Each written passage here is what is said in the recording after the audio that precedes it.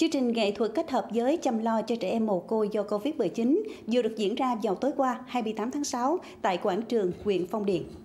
Đồng chí Phạm Văn Hiểu, Phó Bí thư Thường trực Thành ủy, Chủ tịch Hội đồng nhân dân thành phố, đồng chí Dương Tấn Hiển, Ủy viên Ban Thường vụ Thành ủy, Phó Chủ tịch Thường trực Ủy ban nhân dân thành phố, các đồng chí trong Ban Thường vụ Thành ủy, lãnh đạo các ban xây dựng Đảng, các sở ngành thành phố.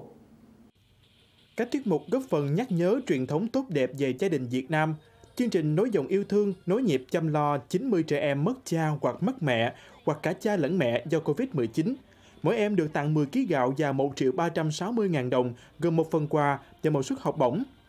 Phó Chủ tịch Thường trực Ủy ban Nhân dân thành phố Cần Thơ, ông Dương Tấn Hiển, đánh giá cao hoạt động thiết thực trong ngày 28 tháng 6. Chương trình còn góp phần thể hiện sự quan tâm sẻ chia động viên các em và gia đình sớm vượt qua khó khăn, vươn lên trong cuộc sống.